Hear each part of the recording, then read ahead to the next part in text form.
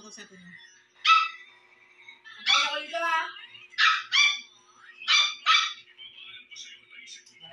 Kamu, tapos ka na kumain. Gusto na kumain ha.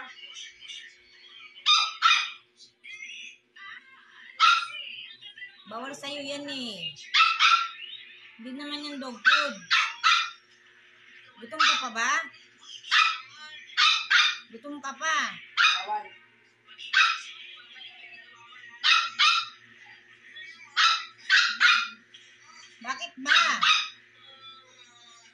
Tinan mo kuya, ano ko.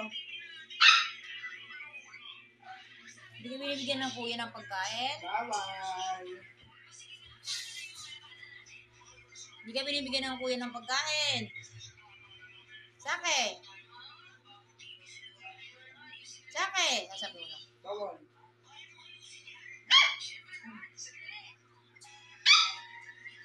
Bawal. Bawal.